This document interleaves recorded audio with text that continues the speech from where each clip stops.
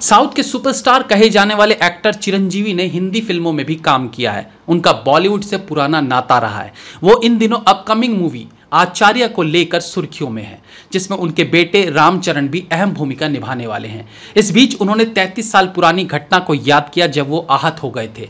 उन्हें दिल्ली में खुद की बेइज्जती महसूस हुई थी, जब उन्होंने इसका खुलासा करते हुए कहा कि हिंदी सिनेमा को ही भारतीय सिनेमा के रूप में देखा जाता था और अन्य फ़िल्मों को रीजनल मूवीज़ में बांट दिया गया था और उन्हें सम्मान नहीं दिया जाता था।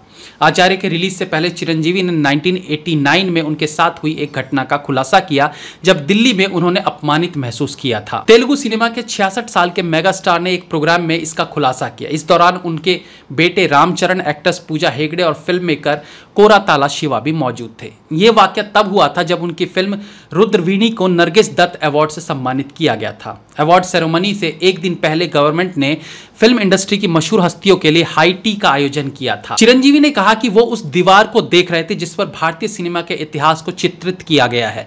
उस पर पृथ्वीराज कपूर से लेकर अमिताभ बच्चन जैसे हिंदी फ़िल्म इंडस्ट्री के आइकॉन के बारे में डिटेल से लिखा था।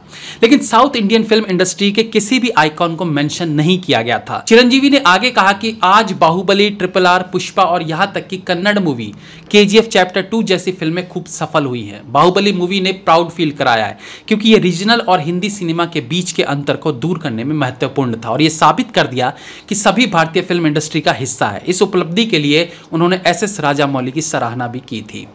इसी प्रकार की तमाम जानकारी के लिए हमारे साथ जुड़े रहिए। नमस्कार।